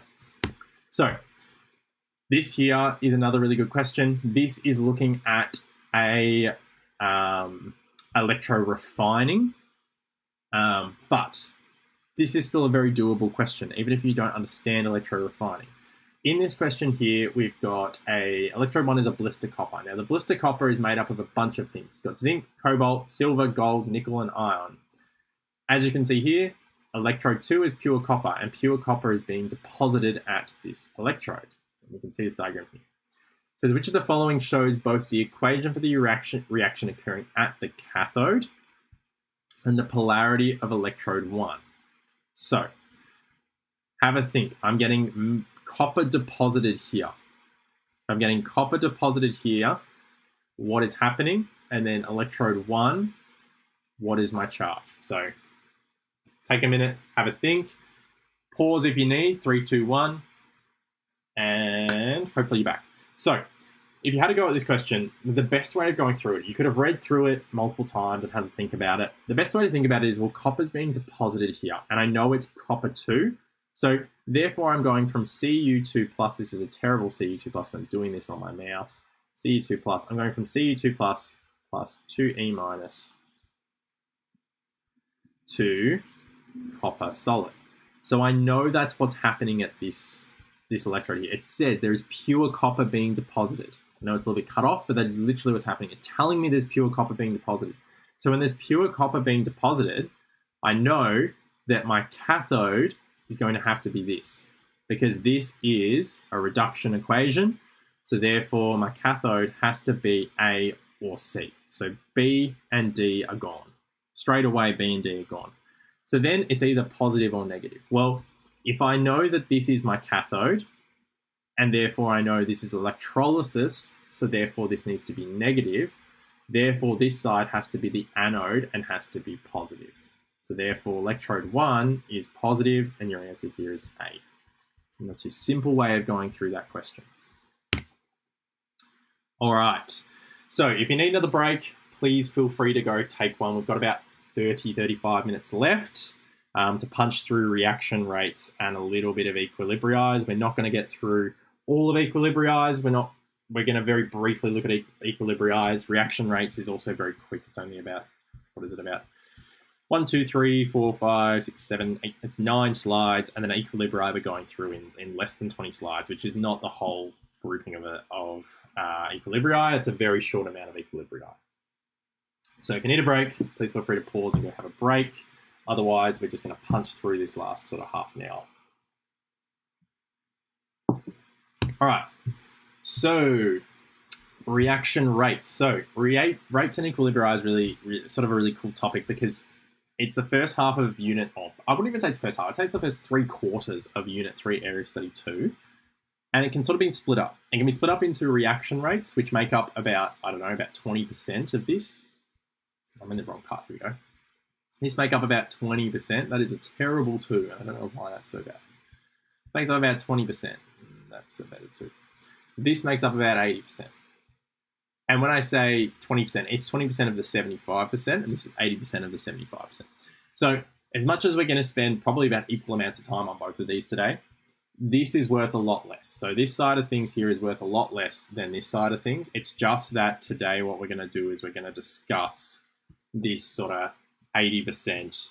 Um, we're going to discuss that sort of, um, we're going to discuss that very briefly because essentially, I don't want to sort of overdo it today. We've gone through heaps of electrolysis, heaps of redox, so we're just going to very briefly look at this stuff. All right, so reaction rates. Let's start off. So what is a, what are rates of reaction? So rates of reaction essentially discuss the or describe how quickly a reaction occurs. And essentially we do this using collision theory. So what is collision theory? So collision theory is this idea that chemical reactions are a result of collisions between molecules, but not all collisions equal a reaction. And that's a really important idea that for a reaction to occur, there is certain there are certain things that must happen. And when a reaction does occur between a collision, we call that a fruitful collision or a fruitful reaction. The two main aspects are that a collision must have sufficient energy and the collision must occur in the correct orientation. And you need to know those two ideas. So to have sufficient energy, the reaction must have more energy than the activation energy. So this diagram here, I made this diagram on PowerPoint. So it's my PowerPoint, very a very nice PowerPoint uh, diagram. But as you can see here, you've got your reactants and you've got your products. You've got your activation energy and you've got your delta H really important. For a reaction to occur, there must, when the reactions hit each other, it must produce more than this amount of energy. If there's not more than this, if it doesn't get to like, let's say here, which is above it, if it doesn't get to here, it's not going to happen. This is the minimal amount of energy it needs to get to for this reaction to occur. It needs to be above it. So it needs to go up, up, up, up, up. It needs to get above this line, and therefore it will then do the reaction. So the activation energy can be referred to as either lay, and the energy, this is the energy needed from ground state to transition state, so it's transition state up here, can be described as an activation barrier, we call activation energy. Uh, reactions with a greater temperature have a greater kinetic energy and therefore more likely to get above your activation energy. So those with a higher temperature have greater kinetic energy and are more likely to be able to jump above that activation energy. That's why sort of warm mixtures are sort of easier to work with in terms of reactions. So as you can see here, energy of collision is greater than activation energy. That's stuff you sort of need to know. So collisions must occur with correct orientation is the second idea. So first of all, you need enough energy. And if there's not enough energy, it doesn't matter if it's correct orientation or not. That's just too bad. So let's say we've got enough energy. Now we need to hit this in the correct orientation. It's like um, it's like pieces of Lego. They have to go one on top of the other. Can't be putting you know backs on backs, ends on ends. They're not going to go together. It's the same sort of thing with chemistry. You need to have the correct things locking onto each other for a reaction to occur. So collisions must occur with correct orientation for the reaction to succeed or be fruitful. Um, this is like a door with a push-pull sign. Obviously, you can't pull a door that says push. Um, I do that all the time. But this is a this is a diagram that was actually done by one of the last tutors that was running this, Jack, um, and I've sort of kept reusing it because it's a really good diagram. Um, but as you can see here, it shows that whole idea of where this OH uh, this OH needs to connect in a certain spot. It needs to be essentially, it can't hit in the same spot of where what it's knocking off is. It needs to essentially hit the back end and knock off something at the front. And as you can see here, if I added it directly on, it's not going to react. It can't do that. So you need to be able to sort of like push it from behind in a sense. And that's how you end up with this reaction. The whole specifics of correct orientation is probably a little bit beyond the scope of VCE, if I'm blatantly honest. You really just need to be able to mention that correct orientation and that sufficient energy above the activation energy is required for a reaction to occur, and this is what we refer to as collision theory. That is essentially what you need to know for it. Now, what are the two fundamental ways to increase reaction rate? So then we start to talk about, hey, reaction rate, we've talked about correct orientation, we've talked about sufficient energy, now, what about approaching increasing our reaction rate? And there are two approaches to this. So what are our two approaches to increasing reaction rate? Because we want things to go fast. It's reality. We don't want things to go slow. We want things to go fast. So method one is to increase the collision frequency. And we can do that through three different things. Increase the temperature, increase the pressure slash concentration, or increase the surface area. Method two is to increase the proportion of successful collisions. So a high temperature or a catalyst, and that's the best way to go about it. So really important, you need to know these two things here. You need to be able to apply those two things there and you'll be fine. So you'll, you'll smash them out if you do those two things. So, collision frequency. First of all, you need to increase the temperature. So if you've got a high temperature, you've got a faster movement of particles, so you've got a higher collision frequency. That higher frequency of successful and fruitful collisions means you get a higher reaction rate. That's eventually the essential way you go about it. What about if I increase my concentration or my pressures? Well, in doing that, you'll have more particles. More particles means more collisions equals more successful collisions equals higher reaction rate. If I increase the surface area, same sort of concept, You've got a higher surface area, you've got more stuff to bump into, you've got a higher collision frequency, more successful collisions, higher reaction rate. So very similar pathways, just slightly different. Um, what about an increase in temperature for proportion of successful collisions? So really important, temperature does both, and it's the one you need to know that does both. A higher temperature, faster moving particles, Faster moving particles essentially have more kinetic energy. More kinetic energy means more collisions that overcome the activation energy. Increasing the temperature affects the reaction rate in both ways. So important that you get both ways you get a increase of activation energy. Use of a catalyst. So a catalyst provides an alternative reaction pathway with a lower activation energy. Um, this then allows for more collisions to succeed um, it's really important you know that wording and that specific, specific wording. Catalysts provide an alternative reaction pathway with a lower activation energy. This allows for more collisions to succeed, um, and therefore you get that whole idea that it's the alternative reaction pathway. So that is like we must know wording for SACs and exams. If you don't like display that wording in SACs and exams, then you will be knocked down for marks. You won't get marks, um, and that's really, really important. You need to be able to apply that wording. Um, without that wording, things are not going to be right. So, really important.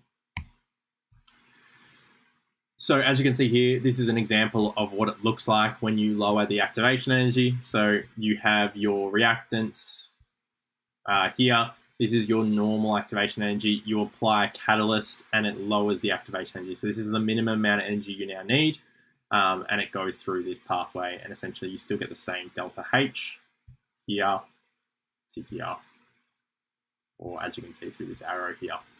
That's terrible. It should be there to there. You know what I mean. It's terrible, uh, terrible arrow, but it does the job. So that is essentially how you increase your reaction rates. That is all you really need to know for reaction rates. The only other thing with reaction rates that sort of leans onto equilibria is this idea of what about rate versus extent? Well, rate, we just discussed, is how fast things go, and we want to increase the, the speed. What about in terms of equilibrium? How fast does it reach equilibrium? Well, reaction rates are going to increase how fast we reach equilibrium, but it's not going to change where the equilibrium is. Extent is how far the reaction has gone, or where the equilibrium is. So extent is all about where the equilibrium is. Um, and how much reactant has been converted to product or vice versa. So equilibrium is all about extent and being able to distinguish these two words is another important skill you will need to apply when you go into VCAA SACs, VCAA exams for VCE chemistry. So let's jump in. We've got about 18 slides of equilibria to go. Um, so let's smash through these. Now, at equilibrium, we discuss the idea that the forward and back reaction are cancelling each other out. And that's essentially what equilibrium is. We're in a, a nice area where everything is staying the same. Now, it's really important to understand that the forward and back reaction are still moving. They're still going forward and back. You've still got the forward reaction going that way and the back reaction going that way. We refer to this as dynamic. So dynamic equilibrium. And this is a really good diagram of it. As you can see here, We've still got movement. We've still got products becoming reactants, and we've still got reactants coming products. But we don't observe a change. We don't observe a change. We don't observe any difference here. We cannot see a difference because it's all happening at the same rate. So the forward and back reactions are occurring at the exact same rate, and therefore we are at what we refer to as a dynamic equilibrium. So when we reach equilibrium, concentrations become constant. Reaction rates remain the same. And that's really, really, really important. So equilibrium works off extent, as we just said. We need a good way to display how far the reaction goes. We can quantify the uh, the reaction extent via a K value, which we will discuss. We'll get to a K value in a bit. We're not going to discuss that right now. Um, but we can also sort of look at it through concentration time and rate time graphs. And these you do need to know a lot of detail of. We're not going to go through them in super detail today you do need to know how to uh, manipulate them in terms of Le Chatelier's principle. So you do need to know how to draw out a concentration time graph where something has been removed and therefore we have then had a partial opposition to the change and we've tried to go back to equilibrium. You do need to know how to do that. It is important. It's an important skill. We're not going to discuss it today. But what do these look like? So if you've never seen these before, this is a rate versus time graph when we're reaching equilibrium. Where have we reached equilibrium? We've reached it right here. So this is where we reached equilibrium. As you can see, the forward and back reaction are now on top of each other. You can't really see them. They've merged together and you've got forward and back at the same rate. Um, so the forward reaction is going this way. Back reaction is going this way. From this graph, I can tell you that we started with this and this. How do I know that? Because the forward reaction started off really high. Therefore, that tells me that initially we had lots of O2 and lots of SO2. Eventually, as some SO3 formed, the SO3 started to bump up against each other and react back into SO2 and O2, and that's where we slowly got this increase in back reaction. And eventually, these two met in the middle, and now they're constantly at the same rate. The concentrations all look the same. Now, what about the concentration time graph? Well, it just confirms what I just said. I said that we had no SO3 at the start, as you can see here, and we had an amount of SO2 and we had an amount of O2. Now, at equilibrium, equilibrium is probably about here. I'm assuming it's where that line in that thing is where I've, I haven't made the lines perfectly match up, but I'm assuming equilibrium is reached about here. So it should be at the same time as this graph here. Probably not perfect, but it's meant to be at the same time as the react the rate time graph. Essentially, you've had these two essentially you've had these three lines here. Now, the SO2 has a 2 out the front. The O2 has a, essentially a 1 out the front. If I got a uh, like a measuring device out, if I got a ruler out or something and I put it on my screen, now I'm not going to do that, but use a different color. Let's use green. If I measured, oh, that's terrible. We are going to rub that out. Let's try that again. Let's try that again. That's a little bit better. It's not amazing, it's better. So, if I measured this distance here, and I compared it with, now I'm going to choose another different color of green. If I compared it with, that is terrible, that should be way higher. Let me redo that.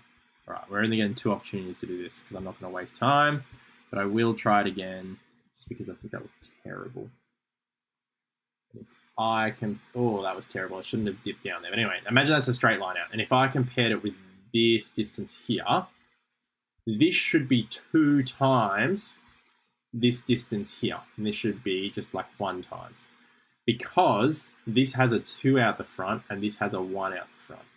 So this should be 2 times the distance. This should have reduced by 2 times the concentration of the O2. That's a really important thing. Therefore, the SO3, if I measure this distance here, this distance should be the same as this distance. These two should be the same distances. It should be 2 times the distance of reduction in the O2. So you've got to look at your sort of your coefficients at the front of your equation. That's how you determine how much concentration reduction or increase you're getting. Again, another important skill. Um, so as you can see, equilibrium reached. Oh, I've even done it. So I didn't even need to waste my time doing that. I was nice enough to do it myself. I thought about myself beforehand and then I forgot that I did that. So let's go and do this because I definitely thought about myself when I was making these slides and when you are going to dislike drawing this out. All right, let's have a look. So one unit increase. So increase and decrease to equilibrium occur at molar ratios according to the chemical reaction. So the increase here would also be a two unit increase. So both of these would be the same essentially unit increase slash decrease. So knowing the exact concentration of components of an equilibrium system can be extremely useful. Um, but in some cases, you may not know all the values and you need to figure out what the rest are. So in this case, we determine them by using what we call an ICE table. Um, so an ICE table can be utilized in both moles and molar concentration form, although the latter is more useful. So using molar concentration is more useful, but moles is fine. You can use either. So as you can see here, we're going to use this one in moles. We're not going to use molar concentration here. Oh no, this is molar concentration, sorry. So we're going to use molar concentration here, but you can use moles. Molar concentration is more useful. So as you can see here, we've got an, an, equation. It's 2a plus b goes to and comes back to c. So this is a double arrow, so it says we've got an equilibrium system. At the beginning, we had three moles of three mole solution of a and a one mole solution of b. So we've got three moles of this, one mole of this. At the end, we measure one mole of A. The rest is unknown. So this is essentially what my diagram looks like at the moment. This is essentially what it should look like. This is what my ice table should look like. Ice table, initial, change, equilibrium, ice. This is my ice table. Let's start to fill it out. Well, initially I know I didn't add any C. So if it doesn't mention adding C, I assume zero. I assume nothing was added. I know that I had a two mole decrease here because I went from three to one. And given that this is 2x, because this is a 2 out the front and these are 1s out the front, I know that these two must be negative 1 for B because it's on the same side, and plus 1 for C because it's on the other side. Therefore, I should have 0 and I should have 1. And that is what my end concentrations are. So, here's one for you to have a go at. So I've already filled in what you need to know on the ice table. I want you all to have a go at this now and see how you go. So it shouldn't take very long. It should take you no more than a minute or two. Um, I haven't even made a question for this. I've simply just given you an ice table with some values already put on the screen, and you just need to fill in the blanks. That's all you need to do here is just go ahead and fill in the blanks. So have a go at this. Three, two, one, pause. And hopefully you're back. So hopefully you had a go at this one and you didn't have too many issues. And I, I assume you shouldn't really have any issues with this stuff. So as you can see here, you should have just input different values into the screen. So as you can see, you should have had, this was negative, so this is also going to be negative. They're both ones, so cool, don't interchange it. This is also a one, but you're to add it, so therefore you then do the maths. Very simple. You have your calculator in there, so feel free to use your calculator. This shouldn't take you very long. So I've already input all the values for you. This is the sort of question that shouldn't take you more than, as I said, I gave you two or three minutes realistically, but I think you should only be using one. Um, pretty straightforward sort of stuff. So now that we have these values from our ice table, where can we use them? Well, we can use them in our equilibrium constant, which is K. Now, our equilibrium constant, as we discussed earlier on, is our statistical measure of how far our equilibrium system goes to one side. So it goes to the reactants or the products. How far does it go? Or realistically, it's just discussing where it is on the spectrum. So when we discuss this, we use a k value, and our k value is determined with this nice little equation here. You need to know this equation. You need to write this equation down whenever you use it. And I mean that. I mean you will write this equation down every time you use it. This does not mean you're going to write k equals c, d, a, b. You are going to write what is given in your equation. So if you're on that last one here, you would be writing k equals, and then you would be doing I3. So you'd be doing I3. So I can probably do this. It's not very, not going to be very nice, but we'll do it to the best of my ability. So this is going to be I3. Now there is no coefficient, so I'm not going to have any power. There's no coefficients at all on this, so there's going to be no powers, which is a little bit boring. I would then do I2 underneath, multiplied by I negative. This should have been negative up here as well. That I would write down. If I, even if I'm going to do this calculation and I'm going to do it on my calculator, I'm going to write this down first. This is where one of my marks is. You must always, always, always write down your equation for your k value. So as you can see here, I will write down my k value all the time. And this is what your k value looks like. Your coefficients go as powers, and your values go in as concentrations. So your that's why we talk about concentrations being more useful in your ICE table, because these are all concentration. Square brackets means concentrations. So concentrations are a lot easier to work with, and they're a lot, they're, they're the smarter thing to work with, so that's why we talk about concentrations here. So, as you can see here, A equim means the concentration of A at equilibrium, so on. K values describe the extent. A large K value will have lots of products a small k value will have not a lot of products, which means a large k value tells you that the extent is very much to the right. I've got lots of products. A small k value tells you I'm very much to the left. I've got lots of reactants. So as you can see here, an example, in this one here, I've got a really small k value, tells me I have lots of this, whereas if I have a really big k value, which is 22, I'm going to have a very, I'm to have a lot of my products. So essentially, these are two different examples where, hey, I've got lots of my uh, my acid here, whereas on my other hand, I've got lots of my sort of deionized sort of acid there in my second example. So what if we wanted to change the K value? What, how will we go about it? So if I wanted to change the K value, it's really interesting. They're only associated, they are, no, not only, they are associated with chemical equations. So this means no matter how much you add the product you add of the pro products and reactants, if they form the same chemical equation for the for equilibrium, the K value will be the same. So no matter how much you add of everything, the K value will be the same for the same chemical reaction. The K value only depends on temperature. Temperature is the only thing that plays around with the K system. As per why in this last one, I had 25 degrees next to them. Temperature is the only thing that changes it. Now, you can manipulate your k value if you manipulate your equation. So what if I wanted to reverse my k value? Well, if I revert, if I wanted to put 1 over my k value, I need to reverse my equation. So if you see here, I go a plus b goes to c plus d. That's my k value. Well, if I do c plus d is a, goes to a plus b, so I flipped it, I essentially flip what goes on top and the bottom. So I get 1 over k1. Same thing here, if I want to double my equation, if I double all my coefficient, I'm essentially just going to put my my k value to the power of. So these are different equations now. That's why I said temperature is the only thing that can manipulate a k value of the same equation. These are all different equations. So therefore their k values in a sense are different only if we manipulate the full equation. As you can see here, if we add equations, we get a different k value again. So we go k1 times k2. So added these equations together. When I add them together, I multiply K values. So then what about the reactant quotient? So the reaction quotient describes where the reaction is in regards to equilibrium. So if you think about the relationship of like time reaches infinity, you say Q reaches K. So as time goes longer, Q gets closer to K.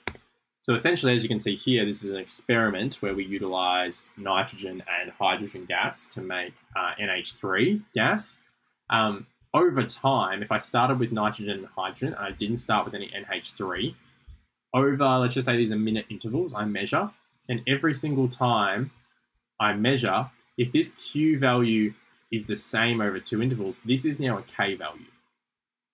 So these here are now are K values. These are Q values. Now Q values that are smaller than your K value tell you that you need to shift your reaction to the right. Q values that are larger than your K value tell you you need to shift your reaction to the left, as per this slide here. So if Q is greater than K, so Q is bigger than K, the reaction needs to shift to the left. You need more reactants.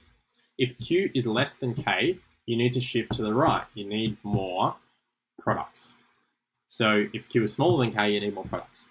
So the Q values are calculated the exact same way as K values. They are just essentially the equilibrium constant when we are not at equilibrium. So this is a really, really good question. I'm going to give you all a second to have a think about it. Um, essentially, it reads the concentration of reactants and products were studied at the following reaction. So we've got H2 gas, F2 gas goes to 2HF, and the K value is 313 at 25 degrees. In an experiment, the initial concentrations of gas were this, this, and this. When the reaction reaches equilibrium at 25 degrees Celsius, the concentration of HF will be what?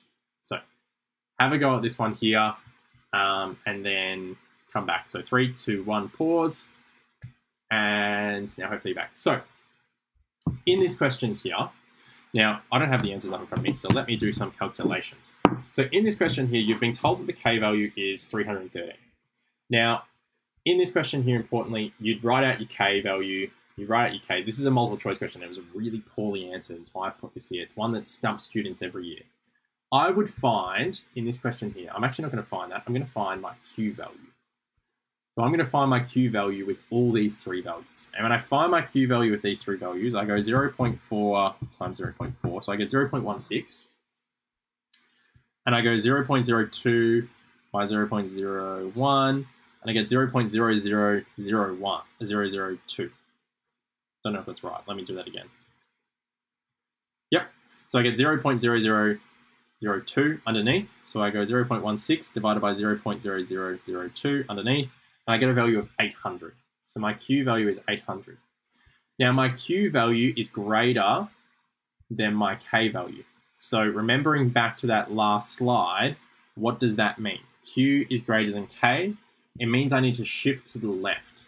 So if I need to shift to the left, I need to go this way. So what's going to happen to my HF, which was 400 or 0.4, it's going to be reduced. So it's going to end up less than 0.4 molar because I need to go back to the left. This is a really good question. May, might be a little bit too far advanced if you haven't been through this topic yet, but don't stress uh, if you haven't. All right, and then lastly, um, you do need to know Le Chatelier's principle. Uh, we're not going to discuss it today, but essentially you do need to know how to utilize it in terms of adding, removing, changing, all that sort of stuff. Remember that Le Chatelier's principle is essentially describing that if you do apply a change to the system, an equilibrium system, it will attempt to partially oppose the change to reach equilibrium again.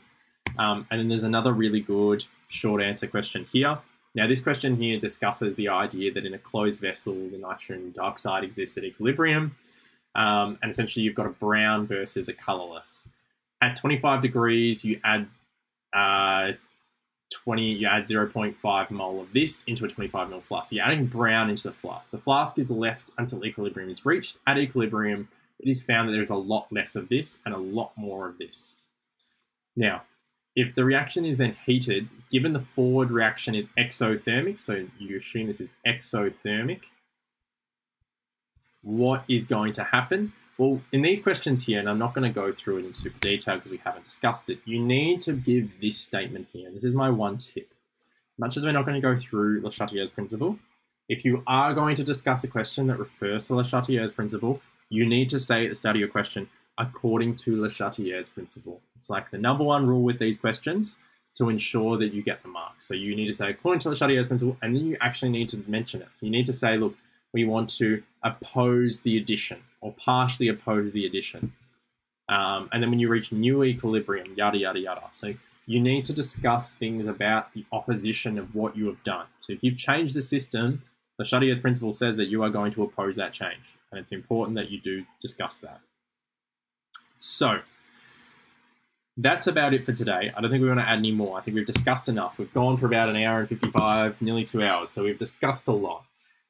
Essentially, from today, I really want you to take out of it that redox is really difficult and that it's going to take time. So please don't feel bad if you've been doing redox and you're really struggling with it. It's just not getting any easier. That is okay. Redox is not fun and it takes time.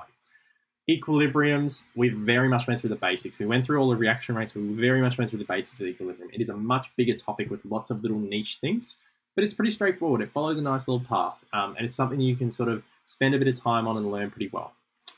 Other than that, um, I hope the rest of the year goes well. You'll probably be seeing me around. I'll probably run the rest of these lectures for the rest of the year for chemistry. Um, for those of you um, who are not watching this at the premiere, please feel free to utilize and read through the chat. I will have answered lots of questions if it was me there. Uh, I'm not 100% sure if it'll be me there. It might be someone else.